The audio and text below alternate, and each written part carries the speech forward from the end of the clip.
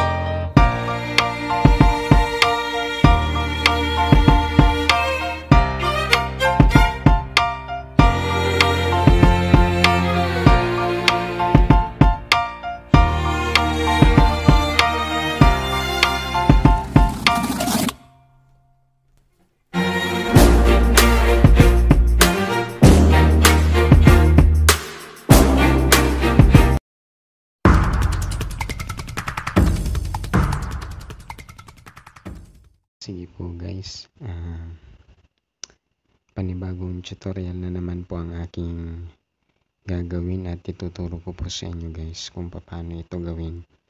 Ang tawag po dito ay photo slideshow. Yun po ay yung brush. Sige po, umpisahan ko na po. Punta po tayo dito sa media browser at gagawin ko po ay maglalagay po ko ng isang background. Then, back pipili po ko ng mga pictures ko po. Yan po ang ating gagawin na uh, photo slideshow. So yan po guys. Yan ang gagawin ko po ay dahil kulang pa po yan dadagdagan ko pa po. Photo slide. So yan guys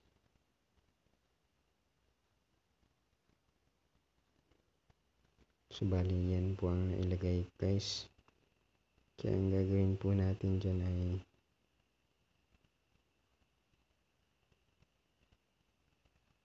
yung crop po niya ay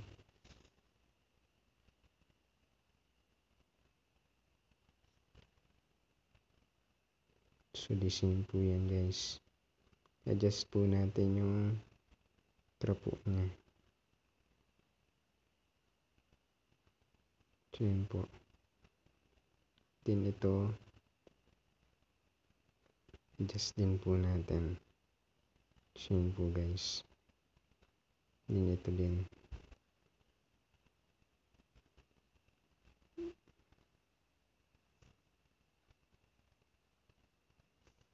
So, yun po guys adjust lang po natin yung crop. Yan po. Kaya na po yung mag-adjust ng cropping nya cropping. Then pangalawa ito na po. Ang pang ano na po? Hindi pala pangalawa yan lang po natin guys. Then adjust na nag-adjust. Para yung start tsaka yung end na pareho. Kaya ginaganon to po. Kinakrap. Ayan. then yung last po ito.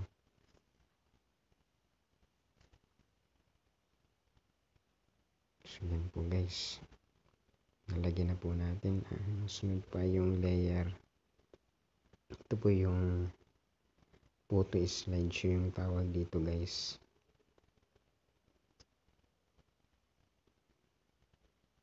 Yun po yung dinownload ko. At ititrim ko po muna dito. Trim. Yun po. Drag po sa unahan yan ang gagawin po natin dyan ay split pull. Then, chroma key.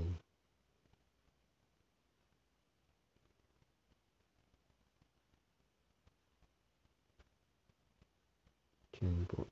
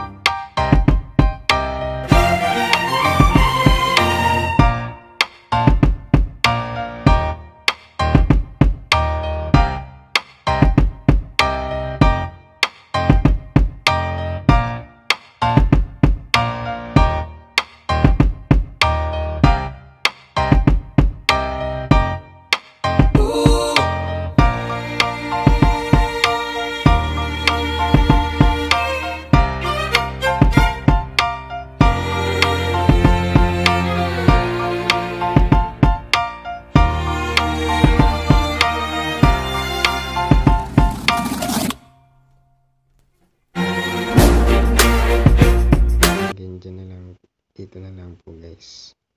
Ating pag-edit.